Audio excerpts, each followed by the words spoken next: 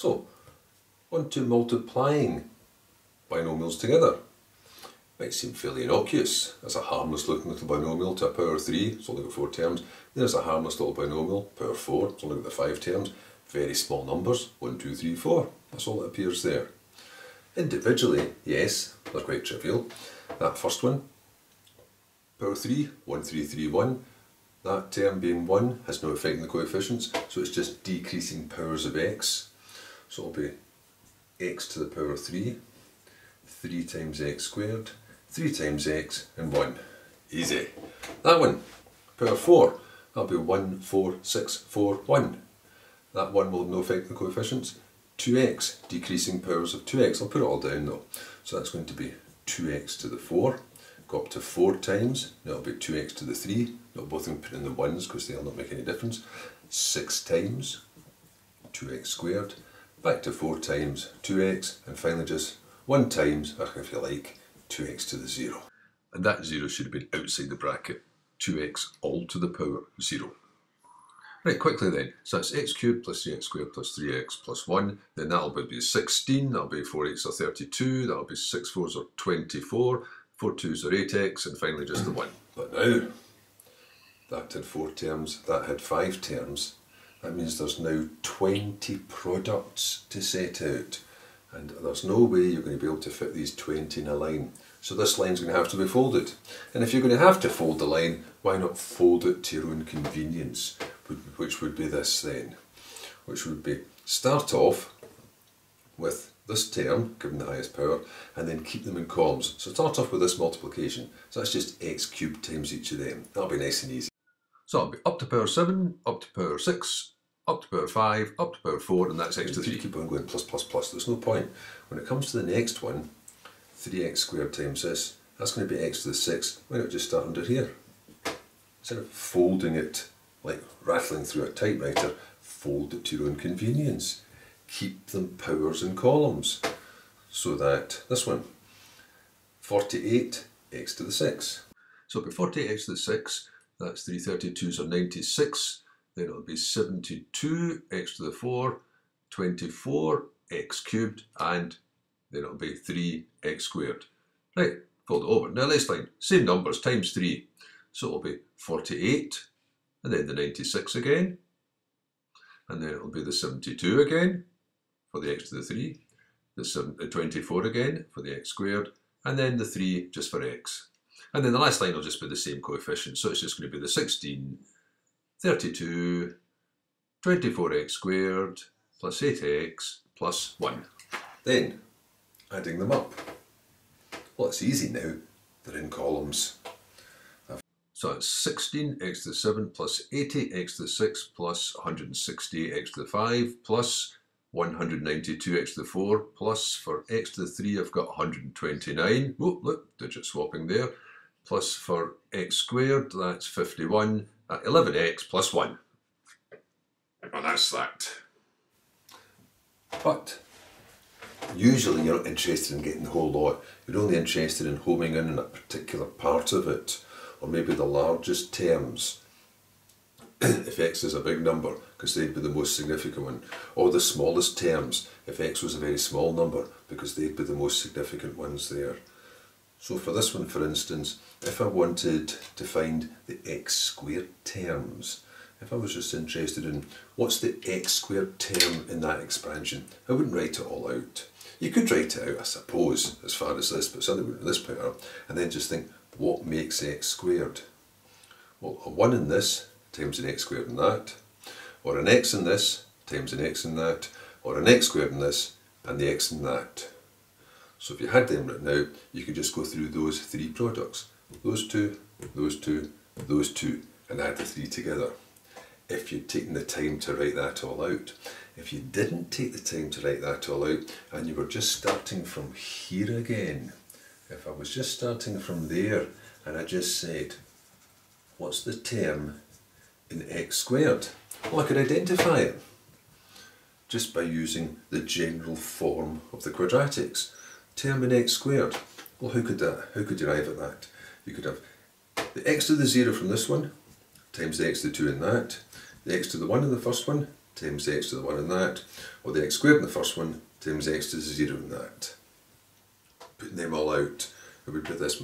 The general term in this would be the binomial coefficient, the combination, times the x times the 1, the general term in that, the binomial coefficient, times the 2x times the 1. Now in this one it's maybe debatable whether this is going to be any faster than writing this part out and then picking out those three pairings because the numbers are so small. But I'll just continue with it anyway. Plus, and it'll be the same again for these two, so the pattern will look like this still, multiplying the particular terms just by identifying the particular terms rather than writing all out and picking them out.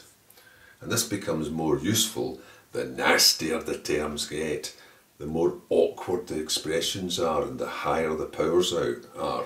I certainly wouldn't be writing them out. I'd probably just zoom in on the particular terms I want. This is going to have to start to reduce as I get towards the end. And then it would be this. Right, so the first one's going to be threes. Going to put all that in. The second one's going to be power fours for the combinations. Right, for the first one I want x to the 0 from this one, x to the 2 from this one. So I want x to the 0, and here I want x to the 2. So if that's a 0 and that's a 3, that means that must be a 3, so it's a 3 underneath. If that's a 2, must add up to 4, that's a 2, and if that's a 2, that's a 2. Next one I want the 1 from this, the power x in this, and the one with x in that. So I want that to be 1 and that to be 1. Well, if that's 1 and it's adds up to 3, that must be 2, so that's 2. If that's 1 and it adds up to 4, that must be 3, so that's 3. And finally I want the squared from the first one and the power 0 from the second one. Well, if that's a 3 and that's a 2, that must be a 1, so that's a 1. If that's 0, that must be a 4, so that must be a 4. So with writing, out writing all that out, I could home in, in this term by working out these three parts. They still look quite nasty, but in this case they're actually very simple little numbers. Now, I know they're all going to come to x squared, so I could just put this down and then just write x squared at the end of it. And now ignore the x part and just concentrate on the numbers, which you know anyway, they're quite easy. So 3c3, that's 3, that's going to be 1. 4c2 is 6, 2 to the 2 is 4, 1 to the 1 is 1. 3c2, that'll be 3, that's a 1, that's a 1 and 4c3 will be 4, 2 to the 1 that's 2 and then a 1, 3c1 that's 3, that'll just be a 1, there's another 1, 4c4 is another 1, there's another 1, and there's a 1 at the end as well. Right, where's the big space? Right, adding up, that's 24 and 3 8s are another 24 and that's just going to be 3, lots of x squared, so that's going to be 48, 51 x squared. The same as you had before. If that's the only term I was interested in, then this would be a way of finding it. But because these numbers are so small, you may, may well have just written them out as far as, for instance, x squared in them both and picked out the particular terms. So I'll do another one where there'd be no point in doing that because I'll put much nastier numbers into it. So for this one, I don't want the whole expansion, I just want one particular term out of them all. I don't want to write out all seven of these and all ten of those and get those 70 products or even just home in by writing out so many of them. I'll just identify the terms. So which ones do I need? If I want x to the power 3, well that would be formed by x to the 0 from the first, x to the 3 from the second, theoretically, x to the 1 from the first, x to the 2 from the second, x to the 2 from the first, x to the 1 from the second, and x to the 3 from the first, x to the 0 from the second. Those would be the different combinations that would give me products, that would give me x to the 3. But this bracket's only going to give me even powers of x, so I'll never get an x cubed from this one or an x to the 1 from this one. So that narrows it down then. So the only two I've got to do are these two. Right, putting these down then. So I want to put in the general terms for these two binomials. So there'll be the coefficient first of all, which will be 6c something, and then the two terms are 3x and 2. Second one is going to be 9c something, and it'll be 2x squared and a negative 5 for the second part. Right, I want the first one to be power 1, so I'm power 1 there. Next one to be x squared, it's x squared already, so I make that power 1. Right, If that's a 1 and that's a 6, that's a 5, so that makes that 5. If that's a 1 and that's a 9, that's an 8. If that's an 8, that's an 8. Then, same again for the next one. So just replicate that same pattern of the same two terms. Right, and there it is. Then, I want to have first one to be a 3 and the second one to be a 0. Now, first one starts 6, the next one starts 9. So if that's a 3, that'll be a 3. If that's a 3, that's a 3. If that's a 0, that's a 9. And if that's a 9, that's a 9. Now you could just multiply that out by entering it all into your calculator, just ignoring the x terms. But just for the sake of the exercise, I'll put down what all the parts come to. So, this combination here, what have we got? We've got 6c5, that's the same as 6c1, so that'll be 6. The number of ways of choosing 5 of them is the same as not choosing one of them. That'll be 3, 2 to the 5, that'll be 32. 9c8, same as 9c1, that'll be 9. 2 to the 1, that's 2, and that's a bit nasty, I'll just leave that as negative 5 to the power 8. Plus, now I've left out the powers of x, I'll put that in at the end. Right, now, for this part here, 6c3, oh well, I'll just have to spell that out. 6 times 5 times 4 over 3 times 2 times 1. 3 to the 3, that'll be 27, that'll be 8, 9, 9, well that's easy, that's just 1. 2 to anything to 0 is 1, and another nasty negative 5 to the power 9, and that was all x cubed. Right, so putting all this into the calculator, lots of button pressing to get the answer to the first part, a lot of button pressing to get this, which should be a negative answer because it's an odd power of negative 5. Then the final answer, negative 43875 followed by 5 zeros. And there it is. The answer. You could have gone straight from that line to that line. You could have had other things. Maybe I could have taken out a common factor of negative 5 to the power 8. But if I'm just pressing the buttons, it won't make any difference time-wise. But of course, that's x cubed. Of course, those were still the calculations for x cubed. And Final one, a different type this time. This time I've put the x's to the end of the brackets because this is the way it would usually be written if x was a small number, if x was a proper fraction, if the value of x, the absolute value, was less than 1. And the smaller the x is, then the less significant the higher powers are. So that in a case like this, you might only be interested in the terms up to x squared because the rest of them would be so small they'd no longer be significant. The, the truer that would be, the smaller the x is. So, expand as far as x squared. The reasoning there being that the terms in x cubed and so on wouldn't be significant. If x was very small, for instance, like a hundredth, then by the time you've got to x cubed, you're dealing with millionths, which would be pretty small. So, as far as x squared, well, I would just write them all out. But not all the way up. I'd only write them out as far as x squared in the two brackets.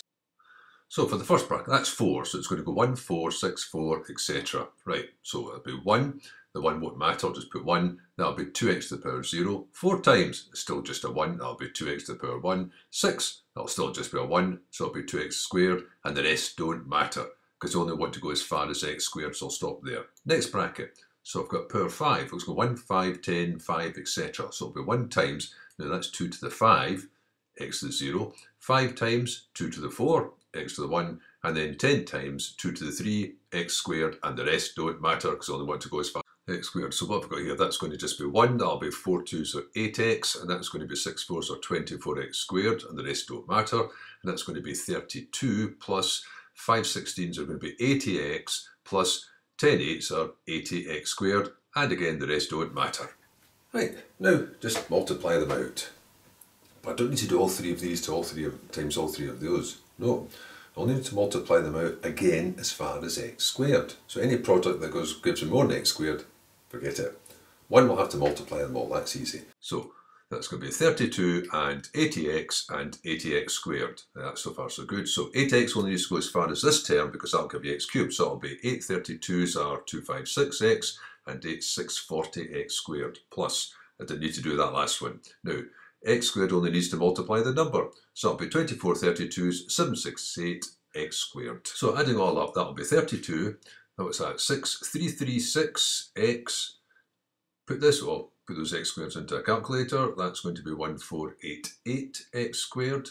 So that would be the expansion, accurate enough when x is a small number. But if x was really small, then a good first approximation would just be the first two terms here, which would give a very good answer, for tiny x's. Medical example then.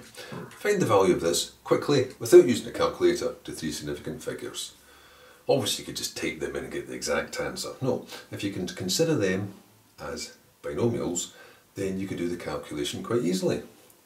You could write it down as 1 plus 0.004 to the power 7 times 1 plus 0.003 to the power 11. And since those parts are so small, the powers of them will disappear rapidly. So you only need to go as far as the x term in the product of those two parts of it, considering those as being the x's. Because when you go to the x squared terms, you're going to have four, you're going to have seven decimal places here. Seven decimal places, okay, they'll use up the last two or three of them maybe, but they'll still be well out of range of the first three significant figures. So, what have we got for this then? I know that power 7 is going to start 1, because there's only one way of choosing none of them. Then go to 7, because there's only 7 ways of choosing one of them. So that would be 1 plus 7 times 0.004 plus the rest. This one, power 11, the coefficients would start 1 because there's only one way of choosing none of them, plus 11 because there's 11 ways of choosing one of them, plus 11 times 0.0003 and then the rest of them which won't matter because the rest of them are going to give me higher powers of these multiplications. So what's that then? 1 plus 7 times that will just be 0.028 plus the rest.